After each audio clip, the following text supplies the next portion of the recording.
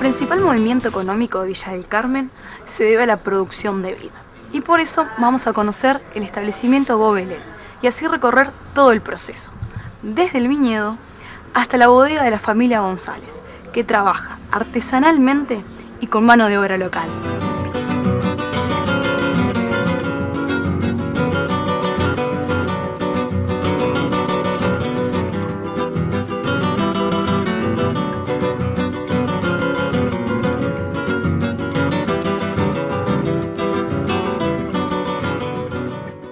Viñedo arranca eh, en el año 1997, en el cual dos hijos deciden invitar al padre, que tenía mucha experiencia en viñedos, trabajaba en la empresa Faro acá, él se jubila de Faro después de 60 y tantas vendimias interrumpidas. Y decidimos invitarlo a hacer un emprendimiento que comenzamos produciendo injertos de vid, eh, variedades de vid certificadas, libre de virus y ahí instalamos un viñedo de matrices.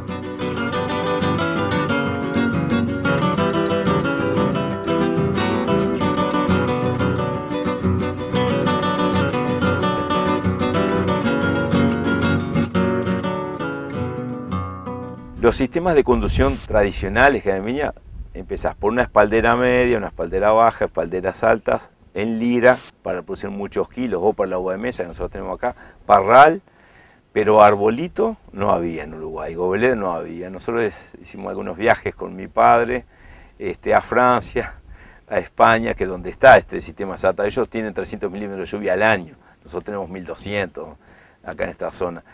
Y, él tenía en Faro una variedad que estaba conducida en este sistema, que eh, no, no lleva postes, no lleva alambre, no lleva estructuras de sostén. La planta crece natural, es de hábito erecto, y ahí se desarrolla. La uva toda concentrada, recibe sol, aire, luz, y, este, y cuando vienen los temporales de viento, frío, ella acompaña el movimiento del viento y no hay destrozo. Y entonces nosotros dijimos, no, acá no se va a adaptar, y dice, bueno, y un poco este, llegamos a un acuerdo, plantamos una hectárea de ese sistema, se llama Gobelet, el sistema es en francés, y es lo que le da un poco el nombre a nuestros vinos. Y ahí tenemos una variedad Caladoc plantada ahí, después en otro viñedo tenemos experimental a uno por uno, hay unas ocho, variedades distintas también plantadas en este sistema. Este, y bueno, y es un poco lo diferente.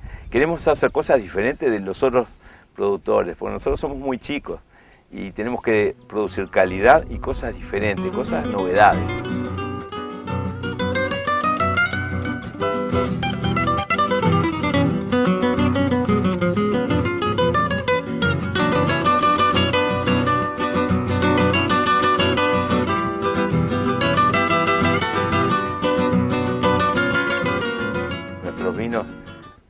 Han sido enviados a España, fui con una beca a España la otra vez, se ve un, vino nuestro artesanal que nos habían pedido que lleváramos información sobre la viticultura del país y vinos de acá. Yo llevé taná de distintas regiones de Uruguay y llevé el nuestro elaborado artesanal para mostrarlo, como orgullo. ¿no?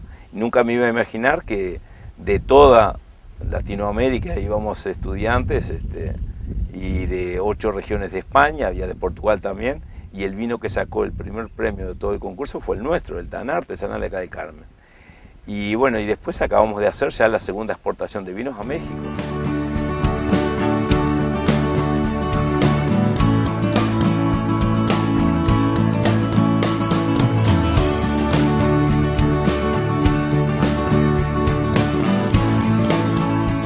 Lo diferente de nuestros vinos, eh, nosotros decimos el vino, somos un vino de palabra, porque es un vino que no te miente. Vos lo tomás y al otro día la gente que tomó dice, no sé qué tienen tus vinos, pero estoy bárbaro, siempre me duele la cabeza, me duele el estómago otro día, con tus vinos no pasa nada, digo, no sé, son naturales. Nosotros tratamos de intervenir lo menos posible en el viñedo con productos, con herbicidas, este, en el manejo del follaje, también tratamos de, trabajar lo menos posible en la bodega, con filtrados, con bombas. Es un poco, es una, bodega artesanal y, queremos que nuestros vinos se diferencien de los otros en, esa característica. Vos vas a, ver que son vinos de mucho color, de mucha estructura, pero porque tienen antocianos maduros, polifenoles maduros y, y son vinos que te parece que te van a quedar acá y sin embargo son vinos muy bebibles, muy suaves.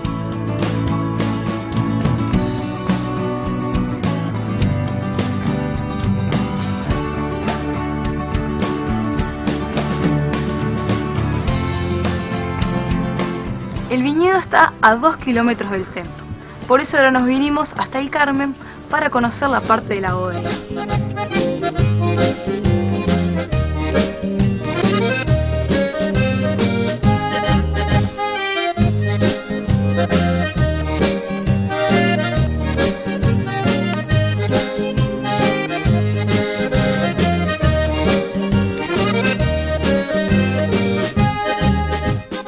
Principales comercios este, desde hace un año por lo menos y trabajando muy bien en los principales supermercados, en, los restaurantes principales también. Eh, en Montevideo ya estamos en alguna licorería, como por ejemplo Las Cruavas, en Las Duelas, en Esencia Uruguay, que fue la primera que estuvimos, en la peatonal Sarandí y Alzaiba. Eh, ya estamos llegando a Punta del Este, como por ejemplo el restaurante El Palenque, que es un referente de todo el año.